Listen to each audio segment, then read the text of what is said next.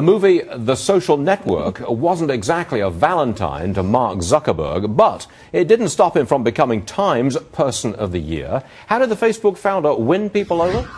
Joining the company is Mark Stevens, CEO of the marketing firm MSCO. He's the author of the book whose title is on your screens, which should be titled Your Marketing is Less Than Stellar. But there you eh. go.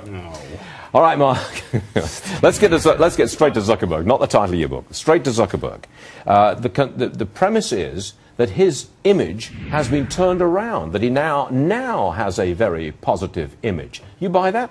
No, I, I don't think he's ever been concerned about his image whatsoever. Really? I think well, not, not, concerned about it, but has the public image of Mr. Zuckerberg always Zuckerberg is a is a is a legend. Zuckerberg is more than a brand. Zuckerberg is a tidal wave to me, and here's what I mean by that. I, I met and I spent time with Bill Gates around the same time of Zuckerberg's evolution. In 1990, I spent a day with Bill, and it was uh, Microsoft was 3,000 people. It was a, still a nascent business. We knew it was going to have a huge.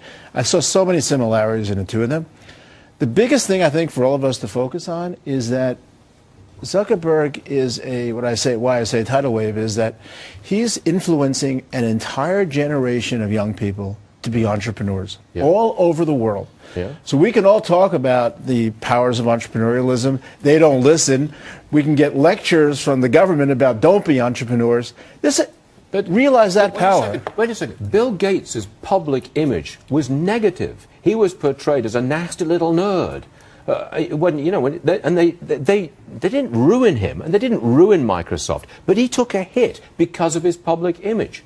Don't you think that Zuckerberg could take a similar hit? And he's portrayed as a nerd, badly dressed, and all the rest of it. Uh, when I met with Bill, I mean, it, it, was like being with a very strange person. He was like Rain Man. I mean, he was rocking his chair. I mean, it was really. I was prepared yes, for it, but then I was yes. really surprised how dramatically different it was. But um, the fact is, these guys don't care. And uh, you know, Bill got a bad rap but for a while. I don't. I, I, can't agree with you. I think the whole thing with Newark, you know, particularly at the same time that this unflattering movie was coming out.